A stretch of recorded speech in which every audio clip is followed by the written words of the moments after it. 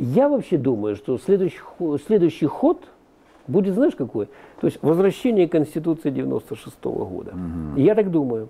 То есть это уже вброшено, то есть сейчас уже все ключевые посты вот под президентом. Теперь ему останется вот Конституционный суд уломать, они запросто примут это решение, примут любое решение, которое им Что скажут. это решение Конституционного суда может решиться, да? То есть Ну, не, ну правильно, ну смотри, вот после, после, э, так сказать, револю- по- после Майдана, основное требование Майдана, одно из требований Майдана, это было возврат Конституции 2004 года, ну, 2005, который после Майдана, после помаранчевой революции. То есть ведь после помаранчевой революции у нас стала парламентская президентская.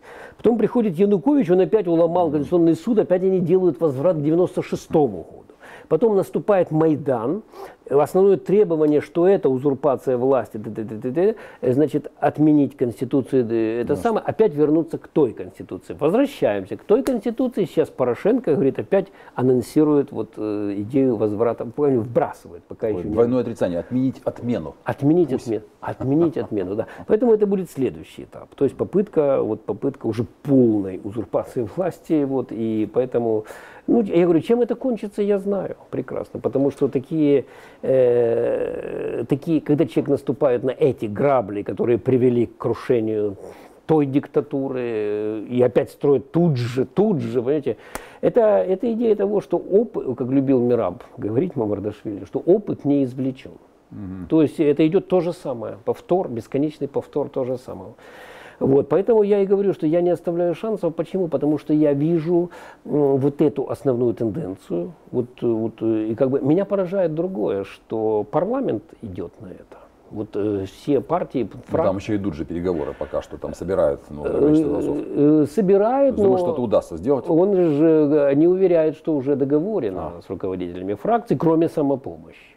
Вот это меня тоже удивило, потому что э, здесь вообще вот интересно, значит, как бы сначала Ляшко первый вышел, вот, значит, потом, а, а самопомощь долго колебалась. Вот, выйти, не выйти, вот мы, они говорят, мы выйдем, потом нет, мы не выйдем, нет, мы выйдем, нет, не выйдем. Потом, значит, вышла Батькивщина. Тут и самопомощь как бы собралась. Вот, вроде коалиции нет, она, она разрушена и так далее. А теперь, значит, потихонечку все начинают обратно заходить, а самопомощь нет. Меньше всего ожидал, что именно она откажется. Ну, а два слова о коалиции, о том, что в парламенте-то останется. Там же, если не будет Гройсмана, как вот мы прогнозируем сегодня, то кто-то должен быть спикером, да? Ну, И если он будет не из ПРП, а какой-то человек случайный. Нет, ну не они, они говорят о Порубии, о Порубии, спикер Порубий. Хороший, да, хороший спикер же вот так. Ну, вспомнишь. спикер, да, вот и так Выступает далее. человек. Ну, в общем, короче я же говорю, что они как бы вот эту... Вот Но эту- будет вот то, что называется, уже сейчас есть, мне кажется, право президента, да? Какой-то распуск, внеочередные выборы или что-то. Нет, категорически не будет. Категорически не будет, потому что Всё для же. него это обрушится полностью его проект. Э, Вертикаль. и вот он это все так строил такими вот То есть, маленькими. если Гройсман, то никаких выборов. Никаких выборов не там будет. Осенью, да. Ничего не будет. Я говорю, меня поражает, почему члены других фракций, вот они, они проглотили кандидатуру Гройсмана. Я не могу никак понять. Э, Вот э, не могу, честно говоря, они что, то есть а, речь же даже не идет о том, хороший он или плохой Гройсман как таковой. То есть речь идет о том, что это член БПП. То есть что когда все, все ключевые посты БПП, то хотя бы из этих соображений, да пусть он хоть семи пядей во лбу, чего нет на самом деле. Но в реальности почему? То есть фактически невольно даже парламент оказался соучастником этого переворота. Ну, Алексей, это же такая, знаешь, получается у тебя арифметика. А что у нас является алгеброй революции?